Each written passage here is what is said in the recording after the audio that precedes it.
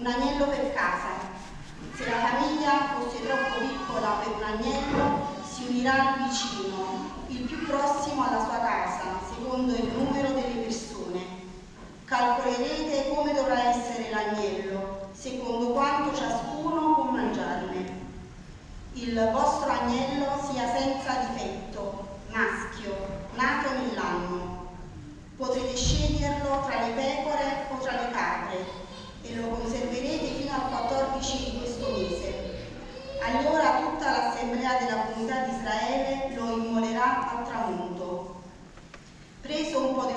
sangue lo porranno sui due stipiti e sull'architrave delle case, nelle quali lo mangeranno. In quella notte ne mangeranno la carne arrostita al fuoco, la mangeranno con azimi e con erbe amare. Ecco in qual modo lo mangerete, con i fianchi cinti, i sandali ai piedi, il bastone in mano, lo mangerete in fretta, è la Pasqua del Signore. In quella notte io passerò per la terra d'Egitto e colpirò ogni primogenito nella terra d'Egitto, uomo o animale. Così farò giustizia di tutti gli dei dell'Egitto. Io sono il Signore. Il sangue sulle case dove vi troverete servirà da segno in vostro favore. Io vedrò il sangue e passerò oltre. Non vi sarà tra voi flagello di sterminio quando io colpirò la terra d'Egitto. Questo giorno sarà per voi un memoriale. Lo celebrerete come festa del Signore. Di generazione in generazione lo celebrerete come un rito perenne. Parola di Dio. Il tuo calice, Signore, è dono di salvezza. Il tuo calice, Signore, è dono di salvezza. Che cosa renderò al Signore per tutti i benefici che mi ha fatto? Alzerò il calice della salvezza e invocherò il nome del Signore. Agli occhi del Signore è preziosa la morte dei suoi fedeli. Io sono tuo servo, figlio della tua schiava. Tu hai spezzato le mie catene. Il tuo calice, Signore, è dono di salvezza. A te offrirò un sacrificio di ringraziamento e invocherò il nome del Signore. Adempirò i miei voti al Signore davanti a tutto il suo popolo.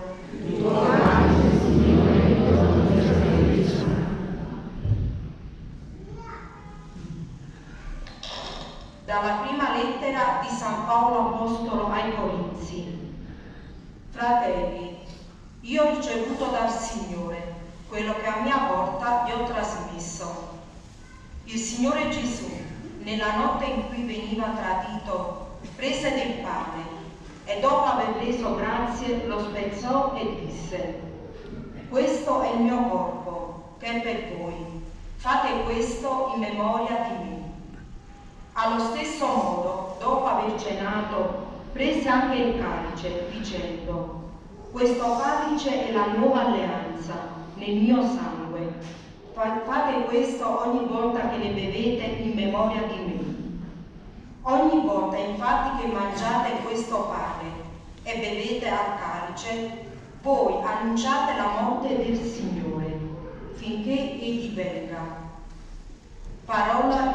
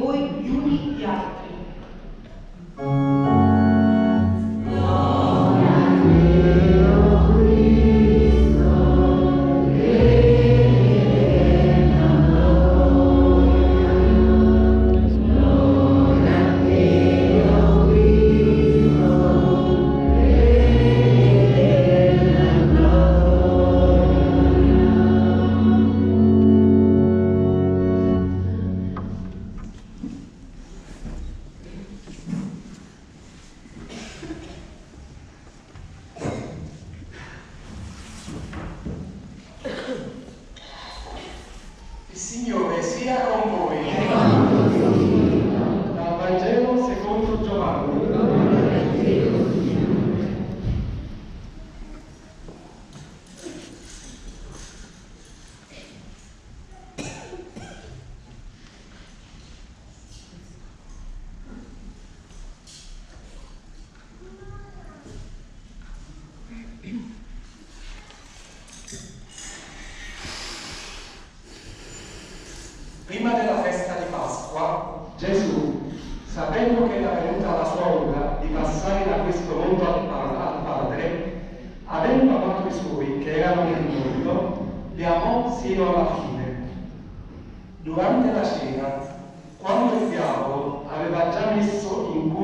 Giuda, figlio di Simone Iscariota, di tradirlo, Gesù, sapendo che il Padre gli aveva dato tutto nelle mani e che era venuto da Dio e a Dio ritornava, si alzò da tavola, depose le vesti, prese l'asciugamano e se lo cinse attorno alla vite.